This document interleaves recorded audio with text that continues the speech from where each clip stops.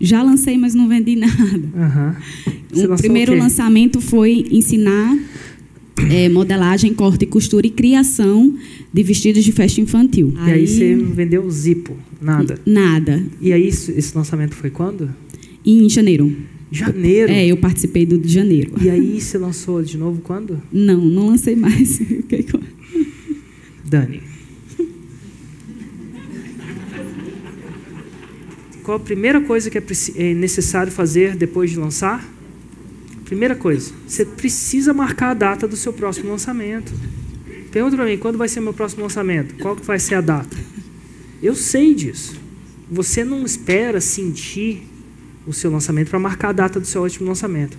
E você não marca a data do seu último lançamento no nível que vocês estão daqui a quatro meses, pelo amor de Deus. Se eu não estou marcando, então por que você não marcou a data?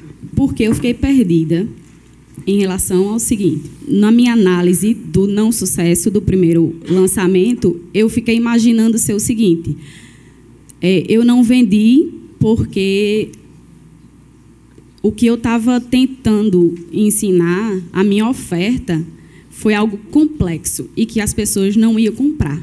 E aí você está esperando o quê para marcar uma, uma experiência do divino? não faz isso com você.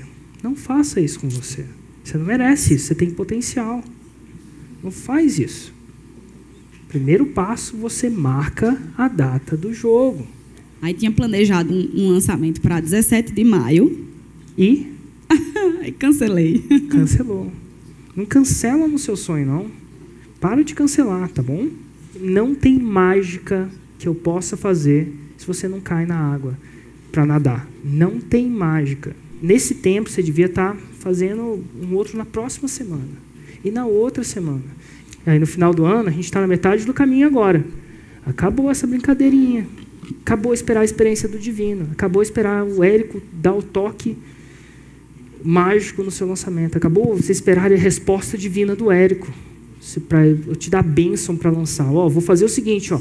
Ah, lançaram todo mundo. Beleza. Todo mundo pode lançar de novo.